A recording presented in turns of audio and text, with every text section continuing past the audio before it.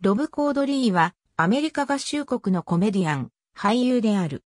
映画、テレビで活躍するコードリーは1971年にマサチューセッツ州ウェイマウスに生まれる。父親は州の公安管理委員会に所属していた。弟のナイト・コードリーも現在俳優として活躍中。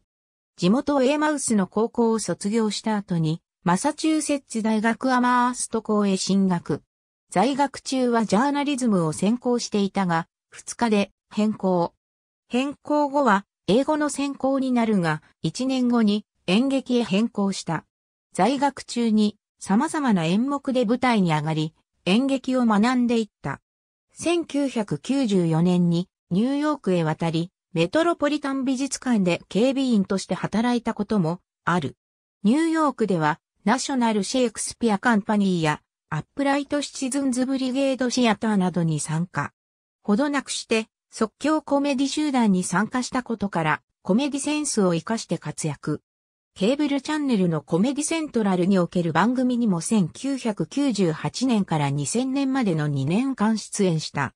2002年からは同チャンネルで放送されている政治風刺番組のザ・デイリー・ショーのオーディションを受けて合格したことからレギュラーとしての出演を果たした。この番組には弟のネイトも2004年から出演している。2003年にはウィル・フェレル、ルーク・ウィルソン出演のコメディアダルトスクールで映画デビュー。その後もコメディ映画を中心にキャリアを重ねていき、2007年にはベン・スティラー主演のライラにお手上げでスティラー演じる主人公の友人を演じるなど、徐々に役柄も大きくなっていった。現在もコンスタントに映画、テレビの出演を続けているほか、2010年から2011年まではアメリカの有名ホテルホリデーインのコマーシャルにも出演した。またケーブルテレビのヒストリーチャンネルでナレーターを務めるなど、その活躍の場を様々に広げている。ありがとうございます。